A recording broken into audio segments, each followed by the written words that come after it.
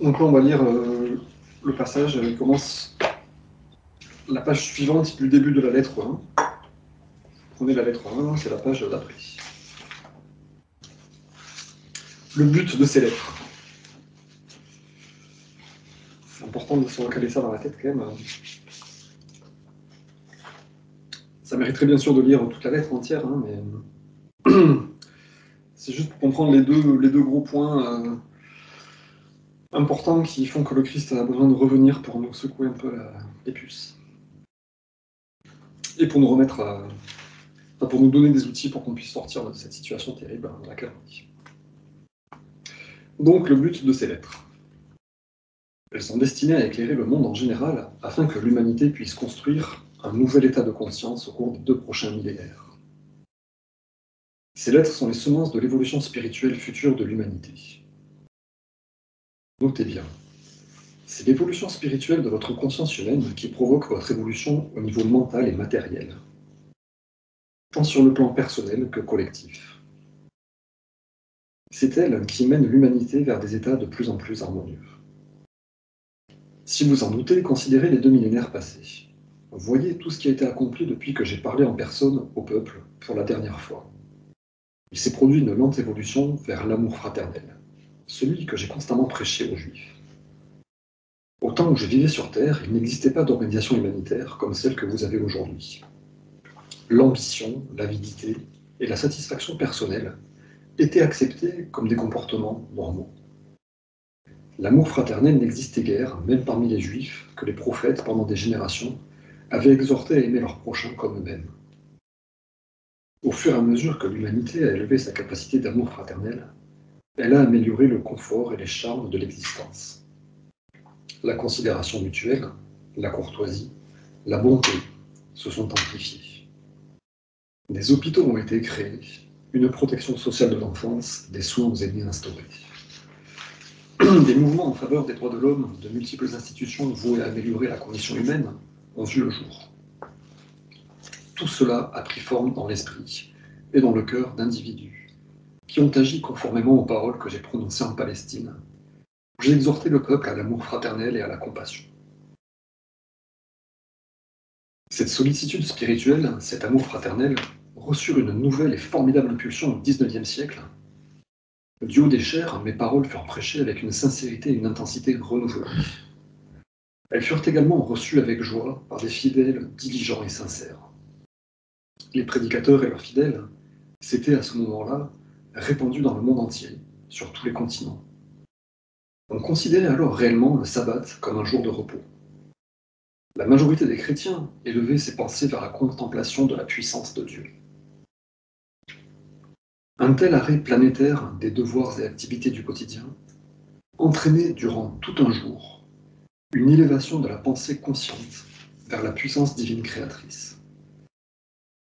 Cela créait un état de conscience humain divin régulier, puissant, soutenant et reliant entre elles les vies humaines. Ces prières attirèrent la puissance divine dans les consciences et l'expérience humaine. Elles sont la cause directe de la croissance et de l'expansion de la vie humaine, et ce, dans tous les domaines. Si vous voulez, on fait une première position.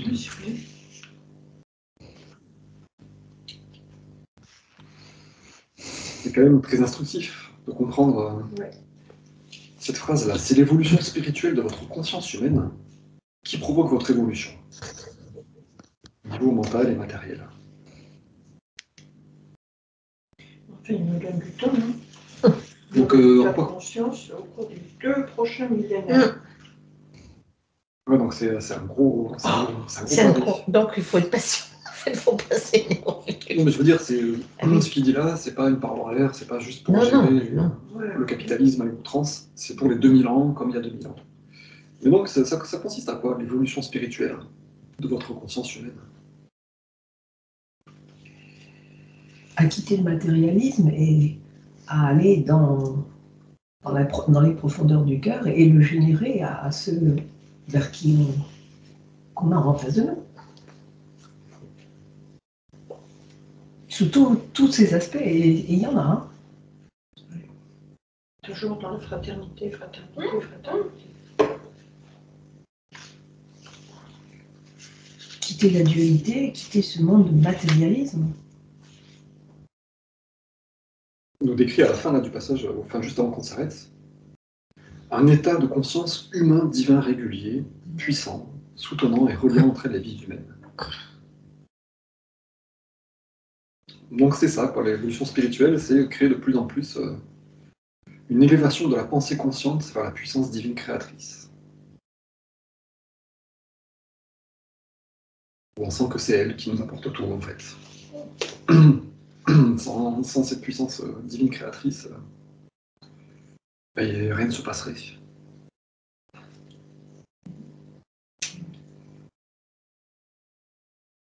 C'est vrai que suppose que toi aussi, Annie, dans notre enfance, le dimanche c'était sacré. hein. On faisait rien d'autre. Ah ouais Mm. Alors, euh, bon, certains allaient à l'office, mais on était obligés d'y aller. hein.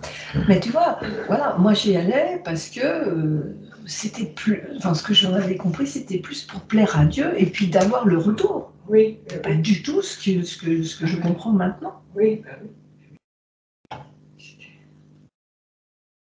Ah, bah t'as fait une bêtise, bah tu pourras t'en accuser en confession. C'est censé être sincère, quoi. Et c'est lever vers Dieu. Alors que là, une élévation de la pensée consciente. Admirer l'œuvre du divin. Et sentir que c'est un père aimant. euh, Je te dis, ma botte de radis, tout ça, je me dis, purée, mais. ah, Mm. il y a tout là.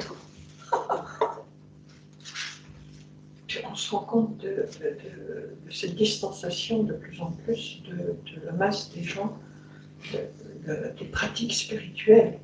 À partir du moment où ils ont ouvert tous les commerces, les grands commerces le dimanche, Hum, Et les jours fériés. et les jours fériés, Mais il n'y disons, avait, plus le, de- il y avait plus de place pour ça. le but des lettres, donc, c'est de créer un nouvel état de conscience. sûr. Ah, moi, ça, c'est une, Et de l'espace. une révélation. L'espace aussi, pour ça. L'espace et du temps. Moi, je m'aperçois, quand je médite pas, je suis pas bien. hein. Ah ouais. Alors que, euh, et, et je fractionne des petites méditations, et ça me. Comme si j'avais un peu comme une nouvelle batterie. Je repars, euh, un truc que j'ai, bon, je remets ça pour demain, et ben non, je m'y m'y attelle. On me donne du courage dans tous les sens du terme. C'est clair, en pratiquant, on sent que c'est nourrissant, c'est Mmh, une connexion. euh, mmh, vivifiant. Mais c'est bien de prendre conscience aussi de toutes ces organisations qui, ont été créées pour, euh, pour euh, aider les gens. Quoi. Ces, ces organisations humanitaires, au Moyen-Âge, ça n'existait pas. hein. Et ben, c'est une chance, ça prouve qu'il y a quand même qu'il y a une évolution. Mais c'est- en fait, on a toujours l'impression qu'il y a une évolution, une régression, évolution, régression, évolution, régression. J'ai ce sentiment de va-et-vient. Mais jamais au retour total, mais voilà, Ça, ça monte en signe on se cherche. Bien. Les Juifs, ils étaient exhortés par leurs euh, prophètes pendant des générations à aimer leurs prochains comme eux-mêmes, Mm. mais ça n'avait porté aucun fruit. Ah oui, L'amour fraternel n'existait que guère parmi les Juifs. Donc il a fallu voilà, qu'ils reviennent, euh, enfin qu'ils viennent il y a 2000 ans pour euh, re-expliquer les choses clairement. Ça a porté des fruits pendant les deux millénaires. Donc là, il revient parce qu'effectivement, ça a rebaissé. Ça a rebaissé. Ouais, parce que aussi la, la science nous a permis d'accéder à, un- à un- une connaissance. Bon, tout, tout n'est pas juste dans ce que les scientifiques déclarent, mais euh, on en sait quand même un petit peu plus que, Ouais, que ces gens il y a 2000 ans en arrière. ouais. Ça a amené le confort matériel. Hein. Grand problème. hein. Malheureusement. Non, mais regarde, sûr, toutes les avancées médicales que l'on comprend, euh, ça, ça, ça vient aussi nourrir ce, cet état de conscience. euh, Non? T'es pas d'accord? Euh, ça dépend, Oui. on le regarde. Ah ouais La plupart des médecins sont persuadés que la matière est le début et la fin de l'existence. Ah oui, oui, oui. Comme ça. Non, mais par exemple, je, je voyais une émission, je, je vais faire très court. Euh, ils se sont aperçus qu'avec une gestuelle, les, les, par- les jeunes parents d'enfants où le langage n'est pas là, eh bien, ils arrivent à calmer l'enfant en lui montrant je vais te faire ton biberon. Je me dis, ça c'est chouette. Tu vois? Oui. Bon, Bien sûr. c'est- un exemple à dessin. Bon, c'est vrai que à côté de ça, vaccinez-vous, euh, ou les, les- les mères enceintes, prenez soin de votre enfant en vous vaccinant. Il y a- encore une fois, on a un discernement à avoir. Les psychiatres sont débordés. Leur vision, c'est vous êtes déprimé parce que vous manquez de sérotonine ou parce qu'il y a un truc chimique Oui, qui va pas bien. Voilà. Donc on va mettre de la chimie et votre morale va aller mieux. C'est à nous à faire le tri de tout ça. Mais euh, quand on arrive à, à faire un tri euh, qui va dans le sens de la conscience divine, on, on avance.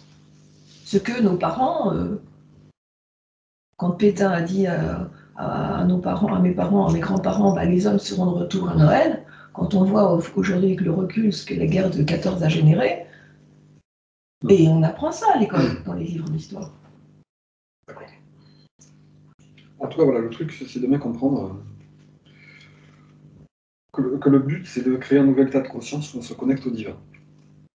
Et le reste va suivre tout seul. Donc on va continuer. hein. Donc ces prières attirèrent la puissance divine dans les consciences et l'expérience humaine. Elles sont la cause directe de la croissance et de l'expansion de la vie humaine, et ce dans tous les domaines. Cependant, les gens ne savaient toujours pas comment diriger mentalement la puissance divine, pour créer par l'esprit plutôt que par l'ego. Voilà, ça c'est un point fondamental aussi.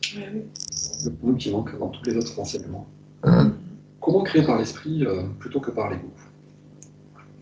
De ce fait, l'activité grandissante de la conscience collective produisit des résultats néfastes issus du pouvoir de l'ego, tout autant que des résultats heureux issus du pouvoir créatif spirituel des âmes inspirées et radieuses. Notez bien. C'est pourquoi je reviens expressément vous expliquer un fait d'importance vitale de l'existence.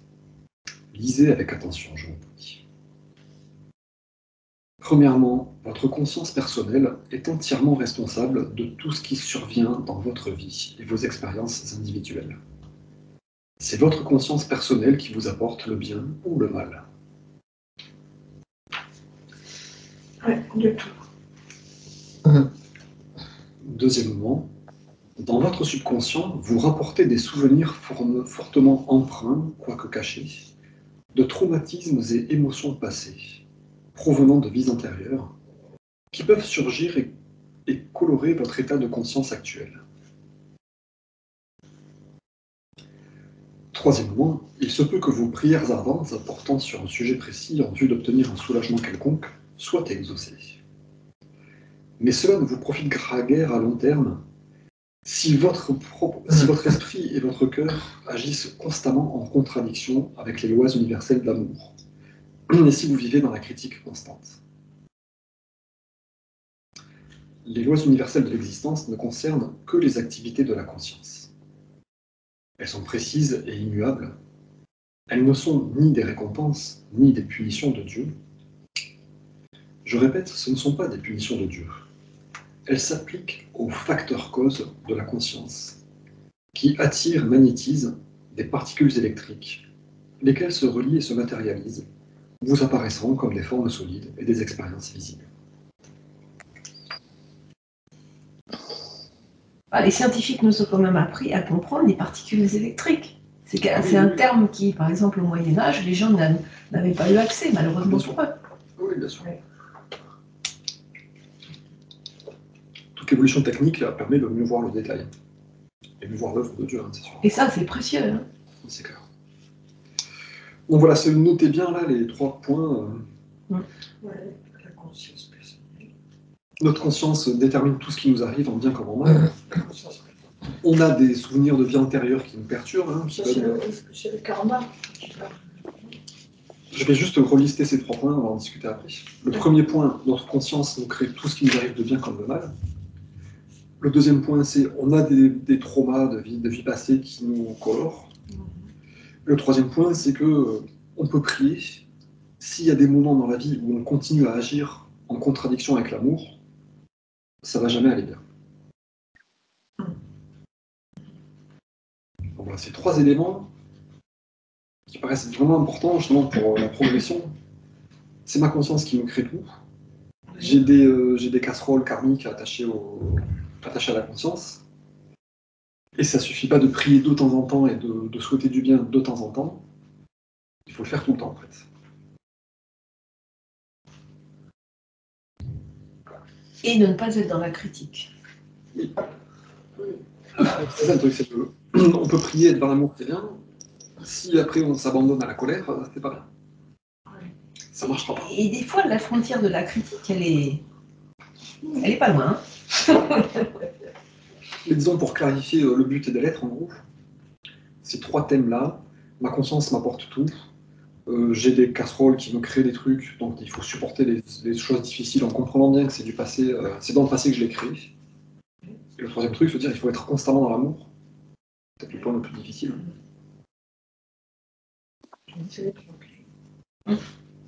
C'est vrai que ça résume assez bien. hein.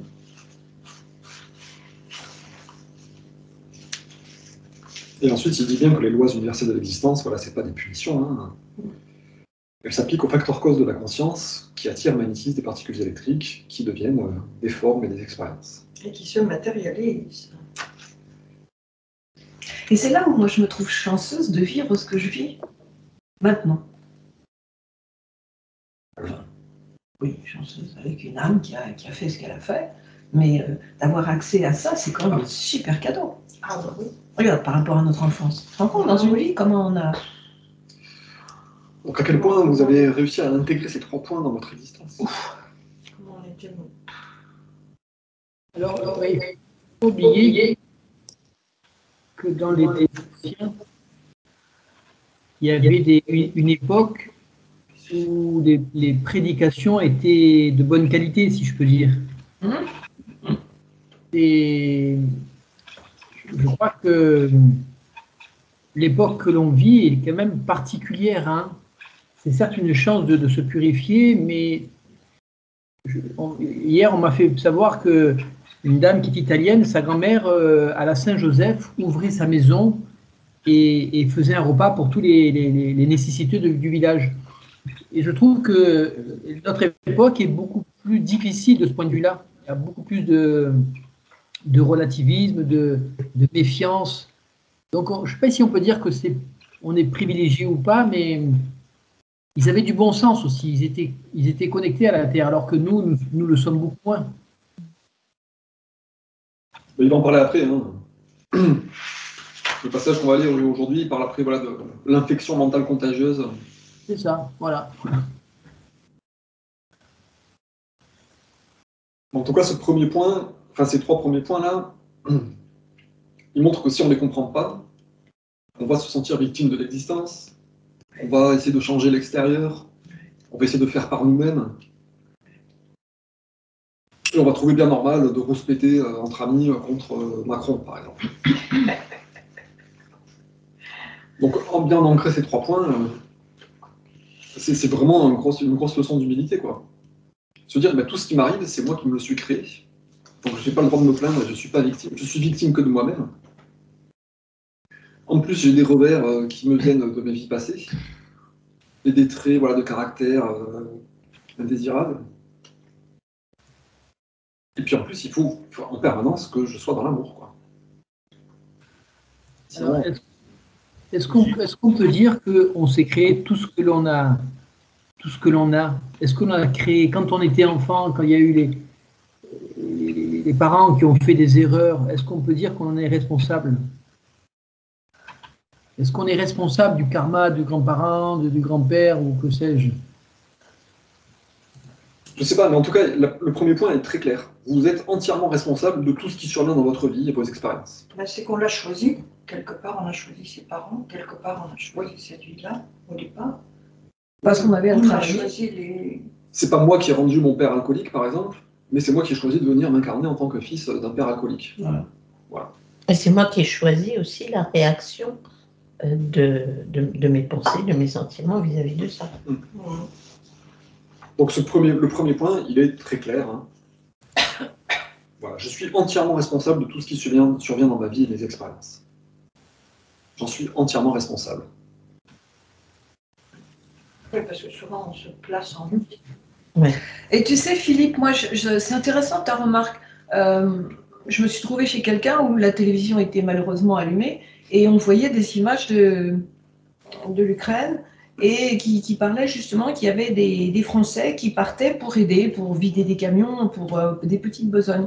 Et je me suis dit, dans le fond, bon, moi, je me sens pas capable d'aller là-bas, mais du coup, bah, j'ai une voisine qui marche difficilement, bah, je me suis dit, tiens, je vais balayer devant ma porte et je la véhicule de temps en temps. Voilà. On a, alors, ok, c'est vrai qu'autrefois, il y avait dans les, dans, les, dans les grandes familles ou quand les lieux s'y prêtaient, il y avait toujours une assiette ah et un, un, siège pour recevoir le, le, le, pèlerin qui passerait. Bon, aujourd'hui, on ne vit plus dans les mêmes conditions, mais il me semble que par des petits actes de temps en temps, on peut, euh, c'est une goutte d'eau dans la mer, mais on, on peut euh, euh justement combler ce. Je crois que c'est ça, parce qu'on ne nous en demande pas plus. Ouais. D'être authentique, ouais. de, de, de s'ouvrir. De balayer devant notre porte sans pour, pour autant prendre un avion et, et aller se creuser. Moi, j'ai un dos qui ne me permet pas de, de, charrier des cartons. Bon, bah voilà. Je crois que c'est encore une affaire de conscience. Mais je suis d'accord avec ce que tu dis. C'est intéressant et c'est bien de l'avoir relevé. La, petite, la, mer, la mer, elle est formée que de petites gouttes d'eau. Hein. Comme dit, euh, devenez une lumière pour vous-même et pour qui peut la recevoir.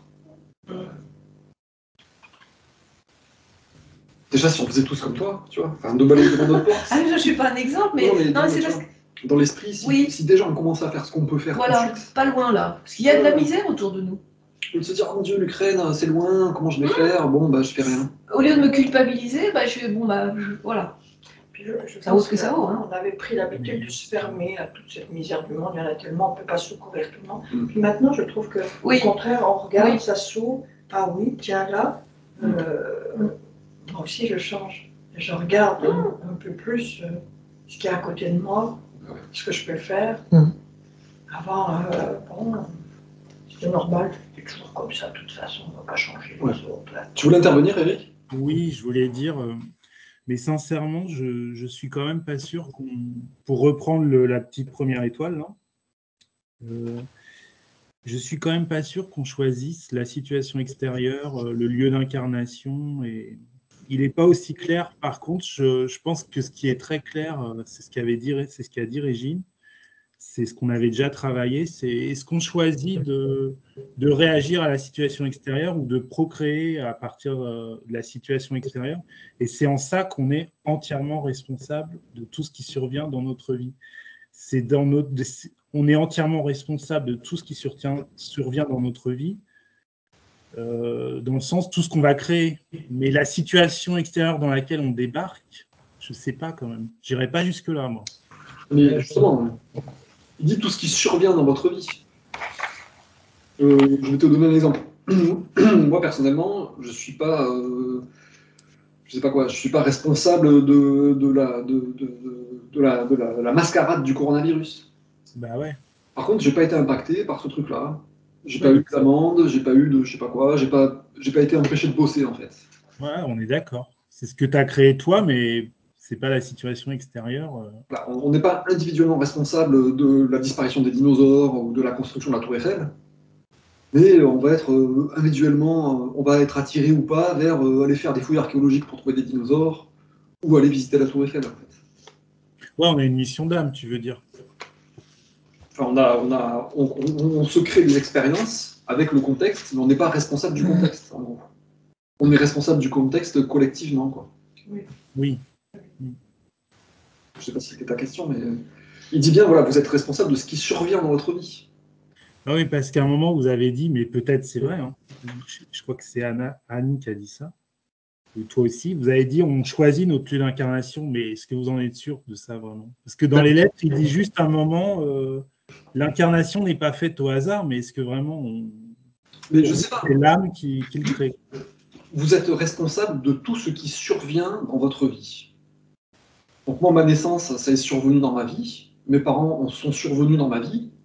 Mes expériences avec mes parents sont survenues dans ma vie. Donc j'en suis responsable. Donc je suis responsable d'avoir choisi ses parents. Ça survient dans ma vie. Voilà, je crois que la, la compréhension, elle vient de ce postulat-là. Les trucs qui ne surviennent pas dans ma vie, euh, je sais pas quoi, hein, euh, les talibans qui ont dynamité des bouddhas, là, ben, je le vois à la télé, mais ça survient pas dans ma vie, en fait. Ah ouais, d'accord. C'est intéressant. Ok. Et euh, le, truc 2, dans votre subconscient, vous rapportez des souvenirs en toute sincérité, vous avez accès à votre subconscient, vous, vous pensez savoir ce qui a coloré votre conscience. Vous arrivez à voir ou pas?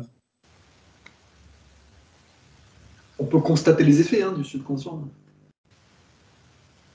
C'est pas quelqu'un qui a peur du manque en permanence, ou quelqu'un qui est comme moi, qui juge tout le temps les autres et qui veut toujours tout contrôler. Ça sort pas du néant, c'est sûrement des expériences passées, karmiques. Et moi, j'ai entendu et j'ai accepté le fait d'avoir choisi des parents qui me font travailler, qui m'ont fait travailler mes manques.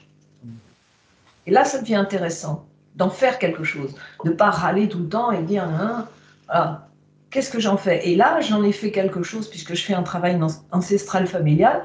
Ce serait trop long à raconter, mais le week-end dernier, j'ai vendangé quelque chose avec mes filles. Donc moi, ça me conforte. Maintenant, je ne veux pas faire de prosélytisme, mais pour moi, ça a l'air de fonctionner de, cette manière. Mais pour rebondir sur ce que dit Eric, le subconscient, c'est des expériences qui peuvent surgir et colorer votre état mental, votre état actuel de conscience actuelle. C'est dans ça qu'on peut les détecter. Il y a des trucs en nous, des fois, qui surgissent, qui nous poussent à des pensées ou des actions ou des paroles euh, qui nous paraissent peut-être surprenants eh bien, il faut capter qu'on euh, n'est pas maître chez nous. Hein. Comme l'a découvert Freud, il y a le il y a l'inconscient. L'inconscient, c'est tout un tas de trucs. Hein. C'est pas forcément l'âme ou, que le contenu refoulé ou quoi. Il y a des choses qui viennent des vies passées, hein, c'est ce qu'il nous dit. Oui, il y a des répétitivités. Tu te dis, mais pourquoi tu vois ça chez tes ancêtres, tu l'as vécu, et puis ça se répète chez tes enfants. Tant que tu n'as pas compris, tu ne peux pas. Et eh ouais, il y a un truc. Enfin, Elle se répétera à nouveau. déjà vu, je pense, compris. Mais en fait, c'est la. Vu, oui. Après travailler dessus. Accepter. Accepter, puis nettoyer. Qu'est-ce que je fais? Sinon, ça reviendra. Il y a, moi, il y a une petite phrase que j'ai, ça m'a frappé dans un, un journal gratuit d'un magasin bio tout ce qui n'est pas fait en conscience revient dans l'expérience. Ben, C'était euh, rallye. Revient dans l'expérience. Et tu te dis, mais enfin, ça s'est déjà produit, ça revient sous, avec euh, d'autres avec d'autres ingrédients, mais qu'est-ce que c'est que ce truc? Je crois qu'il nous dit ça surtout pour qu'on se dise pas, je suis une noix blanche et innocente. C'est ça un peu, c'est euh, balayer devant votre porte. Euh. Et ça se répète dans ton hérédité. Bah ça, c'est sûr. Hein. Et votre conscience personnelle est entièrement responsable de tout ce qui survient. Ouais. Donc, quand on associe ces deux points, on se dit, ouh là là, j'ai vraiment besoin de travailler sur moi.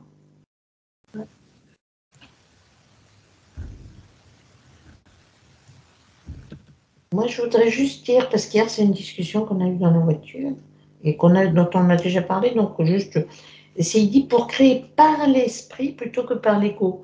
Et hier, quelqu'un dit bon, alors, euh, qu'est-ce que la différence entre l'esprit, l'âme et la psyché?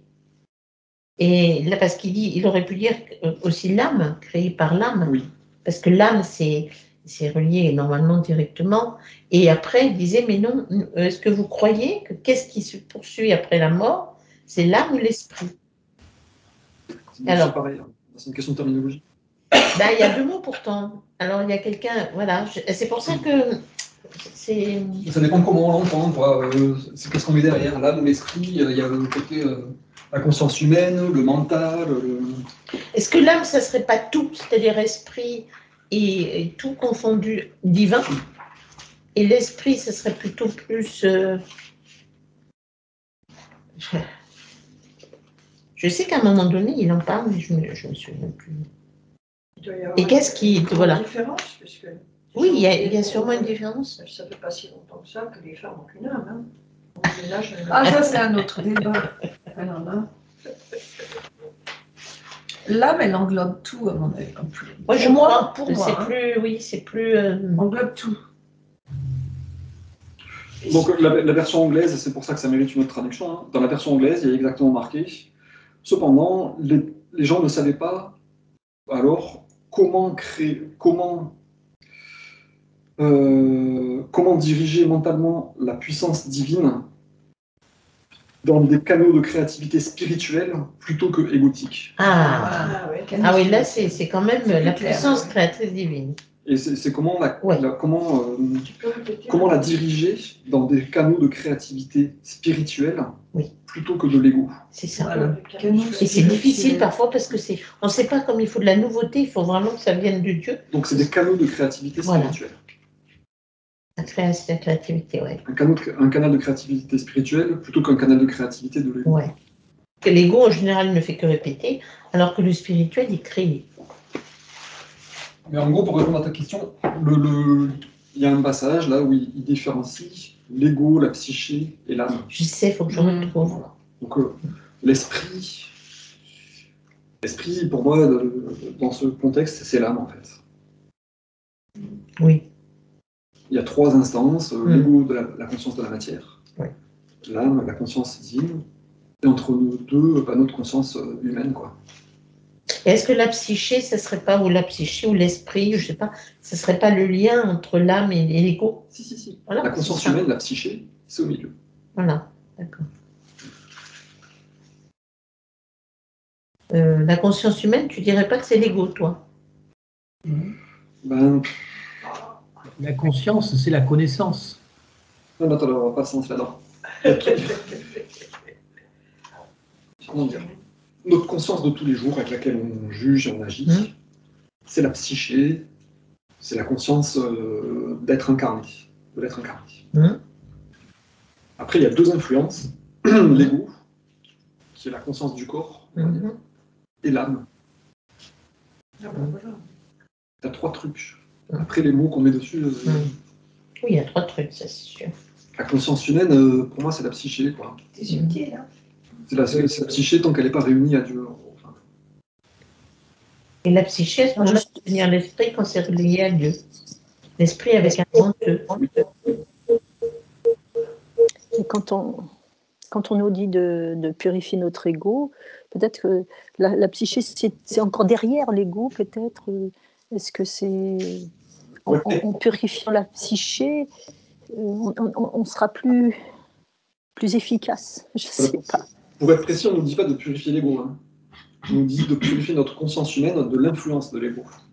Ah oui, c'est vrai. L'ego, il est ce qu'il est, il est nécessaire. Il Mm. ne faut juste pas qu'il dirige. L'influence.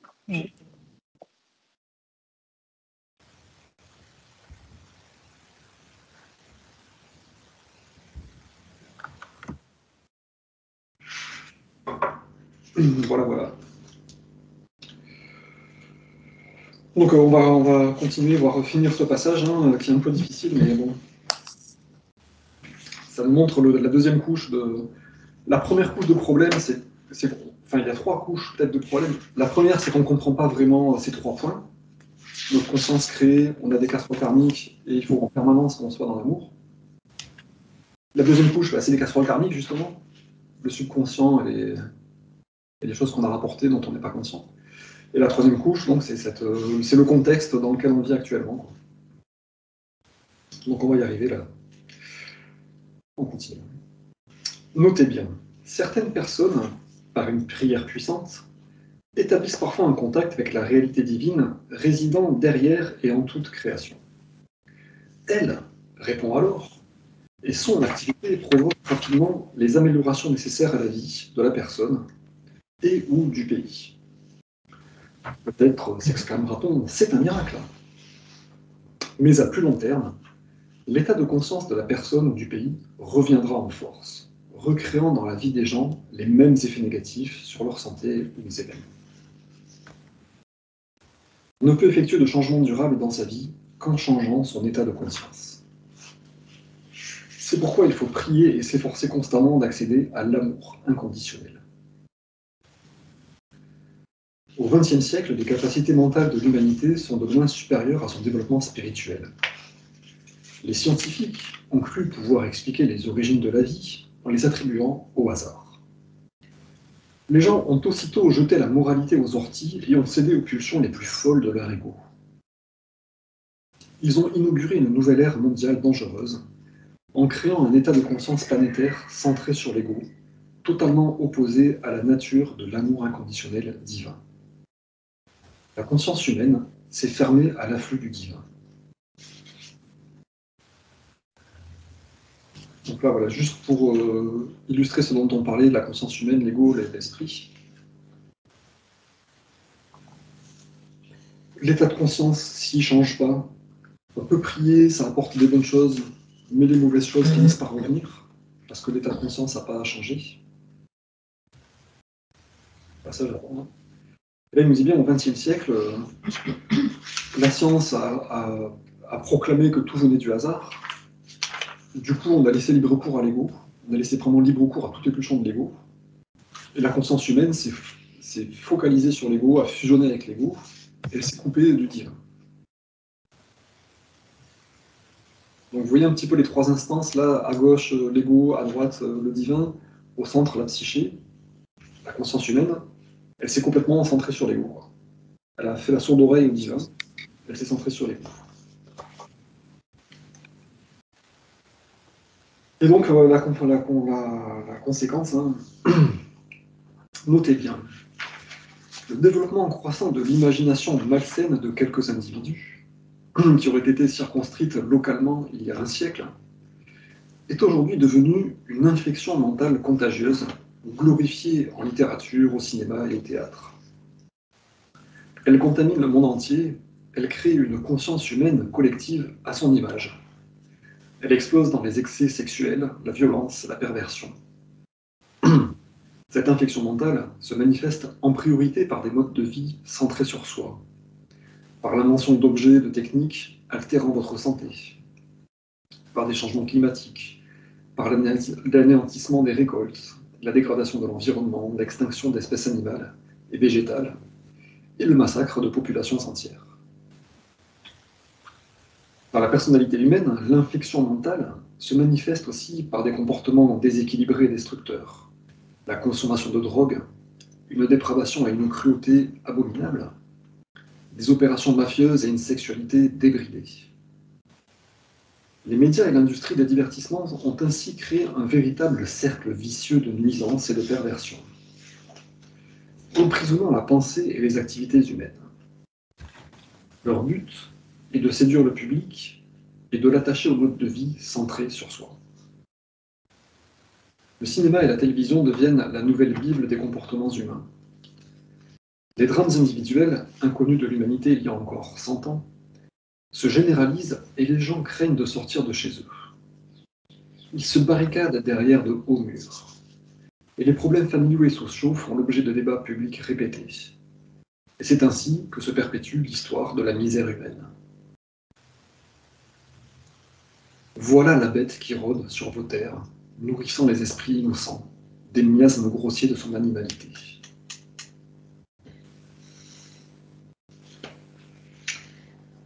Donc là, on peut tous pleurer collectivement euh, d'être devenus aussi, aussi dégénérés que ça.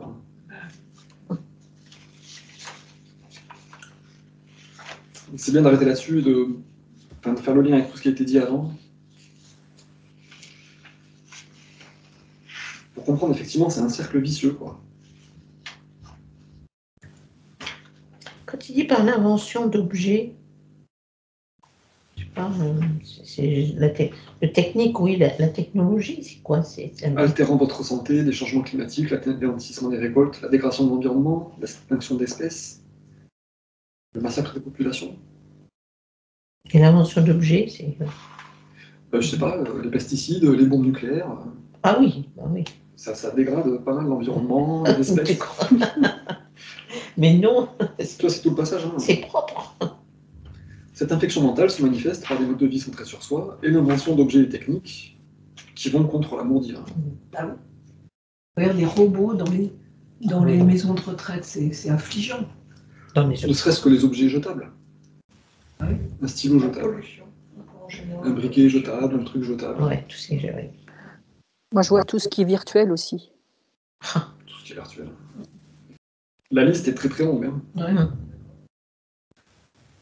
ça fait beaucoup de, dégâts auprès des enfants. Ah Mais en tout cas, euh, ben, j'aimerais bien attirer votre attention justement sur le but des lettres, hein, destiné à éclairer le monde, à créer un nouvel état de conscience, où on se relie euh, régulièrement au divin pour attirer le divin et changer notre état de conscience, hein, se focaliser sur le divin en permanence. L'état actuel de conscience, cette infection mentale contagieuse, c'est juste l'opposé. On est focalisé sur l'ego, on renforce l'ego, et c'est un cercle vicieux de renforcement de l'ego. Donc on est totalement à l'opposé de ce qu'il faut atteindre.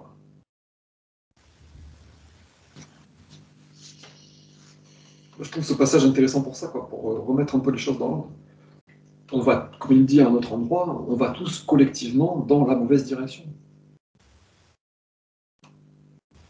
On veut acquérir des objets, être plus fort que son voisin, même voilà, se développer spirituellement pour se sentir supérieur.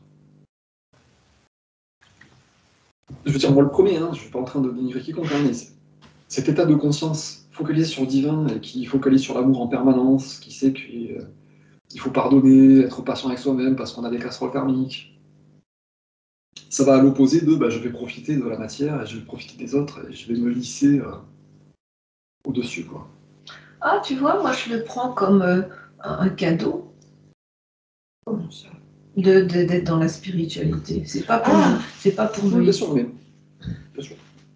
Ah oui, oui, c'est c'est pas. mais je veux dire, ce- ce- cet état mental de centrer sur l'ego, de euh, je me développe et je fais des choses sans penser aux conséquences. Parlait dans certains textes euh, de la bête qui roule sur vos terres, et nous parlons de la bête comme étant l'apocalypse.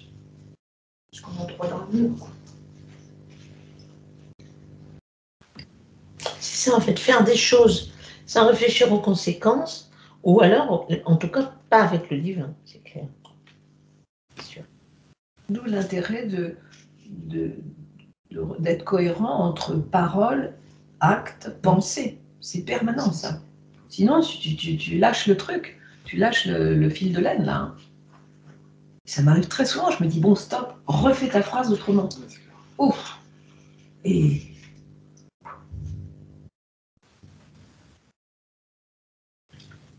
Ben, je, je- lis aussi, euh, cela se doit, doit se perpétuer jusqu'à ce que ma connaissance christique soit reconnue, acceptée, expérimentée par la, par la majorité des peuples sur la terre, de la terre. Ça veut dire aussi que c'est ensemble qu'il y a, que nous devons, euh, tant que nous sommes pas, nous sommes des poignets, il faudrait qu'on soit encore toujours plus ensemble à, à pouvoir changer ce monde. C'est pour ça qu'il parle de l'évolution euh, à venir euh, des deux prochains millénaires. On on n'est pas prêt. Hein. Ensemble, majorité des peuples sur la terre.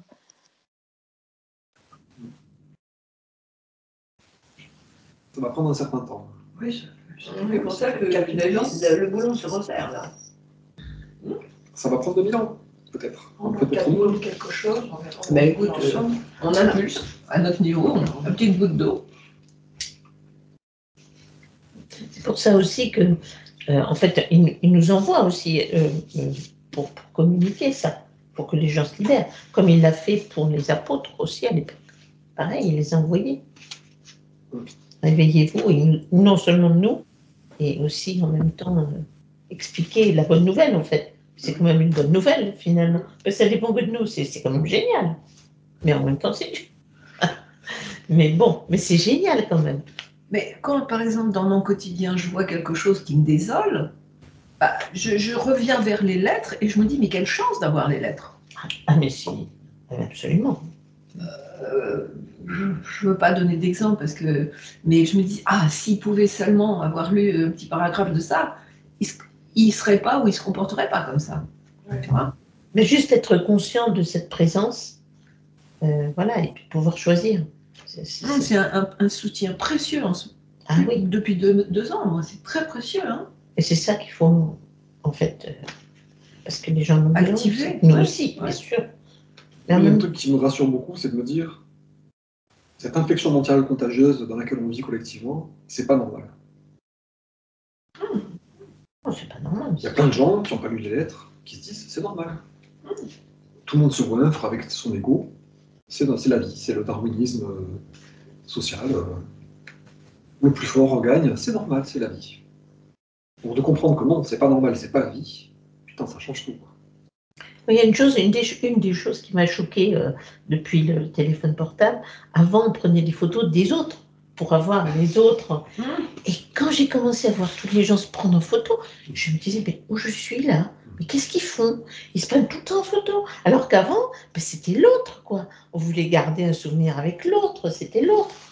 Ça, pour moi, ça a été, euh, voilà, une révélation, on va dire, du,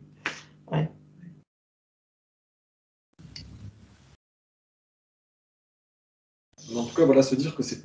on peut faire autre chose que euh, détruire la planète avec son ego. euh, C'est quand même vachement important. Moi, c'est comme au début, je me suis beaucoup renseigné sur la conspiration il y a une quinzaine d'années. J'étais vraiment à fond sur le 11 septembre et tout. Au début, ça me déprimait. Je me disais, putain, tous ces méchants Illuminati qui détruisent le monde, c'est déprimant. Et puis après, je me suis dit, mais vu qu'il y a cette conspiration mondiale de gens qui veulent amener un état d'esclavage et d'abrutissement mondialisé, ça veut donc dire que c'est pas l'évolution normale, euh, sans contrainte de l'humain, qui nous a amené à cet, état- à cet état débile. Il y a une volonté pour que ça soit débile. Mm. Donc quelque part, ça m'a rassuré. Je me suis dit, ah bah tiens, c'est, c'est, euh, l'humain n'a pas évolué depuis l'homme des cavernes pour faire ça. C'est qu'il y a une volonté d'abrutissement. Donc là, c'est pareil, on se dit, il y a la présence divine, on est censé vivre avec Dieu. Là, on vit totalement dans l'ego, c'est pas normal du tout de vivre ça. On n'est pas damné et condamné à détruire les espèces, à détruire la Terre. On peut vivre dans le royaume des cieux où tout le monde vit euh, comme un frère avec tout ce qui existe. Et c'est quand même en train de se qui se construit, il commence à se construire un peu partout, c'est génial. Et cette infection mentale contagieuse peut devenir une infection euh, divine, on va dire, contagieuse. Contagieux. Voilà. Il faut juste euh, inverser le. C'est tout. C'est tout. Une baguette. Mais c'est vrai que c'est un petit peu notre but, hein, de faire un nous, lecteur des lettres. euh, On est censé déjà le manifester, le vivre. Ça se fait. Oui, on après. peut, on peut remplacer le mot affection par, euh, euh, par un, autre, un mot plus positif, en fait. Mais Une affection. Une affection. Ah, une affection, oui, d'accord. Oui, enfin, c'est Oui, un c'est euh, un amour fraternel, euh, contagieux, ou un amour divin. divin. L'esprit divin. En tout cas, enfin, voilà, c'est bien. Moi, j'aime bien le, côté assez radical parce que ça clarifie les choses, quoi. C'est pas que bon, on peut se sentir mieux avec les autres. euh. Non, non, c'est qu'il faut changer collectivement notre vie euh, collective euh, parce qu'on va à l'encontre, vraiment à l'encontre du divin, et donc on va tout détruire si on continue, collectivement, quoi. Comme on le fait individuellement. Si on continue, à, comme disait, à se droguer, à avoir des comportements de dépravation, de cruauté, on va mourir euh, dans des maladies terribles, c'est normal. On va contre l'amour. Donc au niveau individuel et collectif, c'est pareil. Si, euh, on continue dans l'ego, je vais bombarder mon voisin et lui prendre toutes ses ressources, bah, collectivement, ça va pas aller.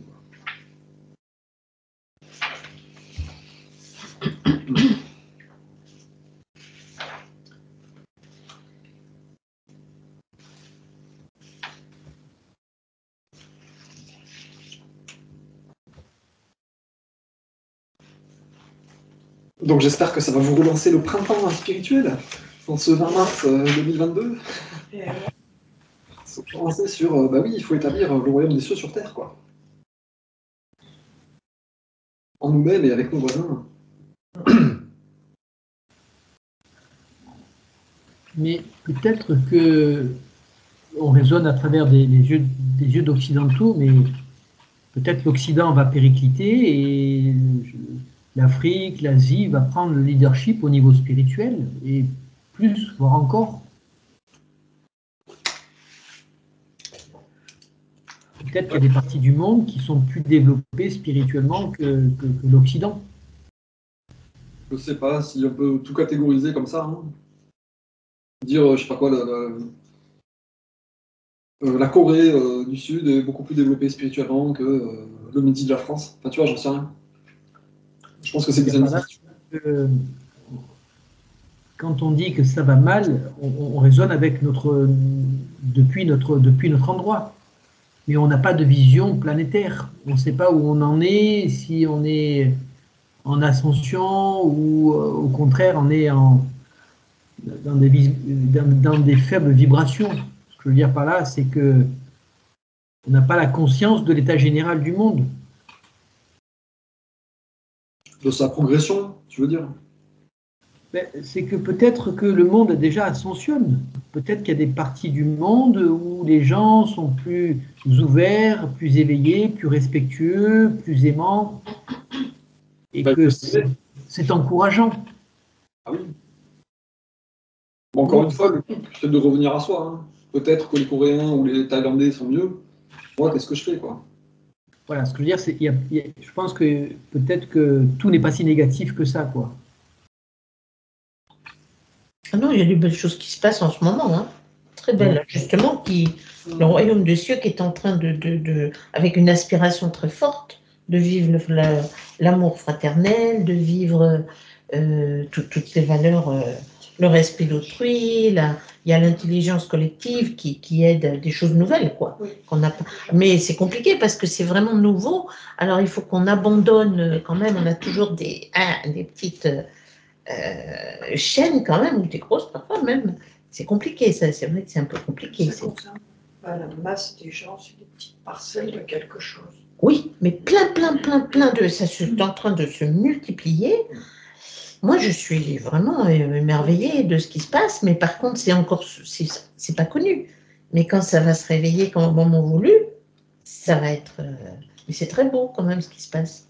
Une volonté vraiment. euh, avec des belles valeurs. Si, si, c'est.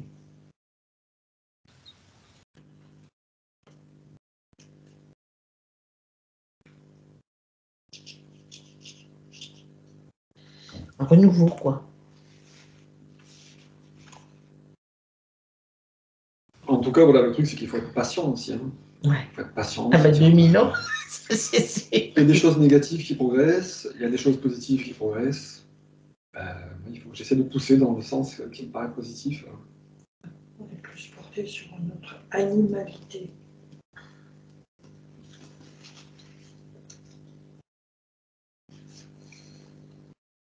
Quelquefois, je me dis que les animaux sont mieux que les hommes.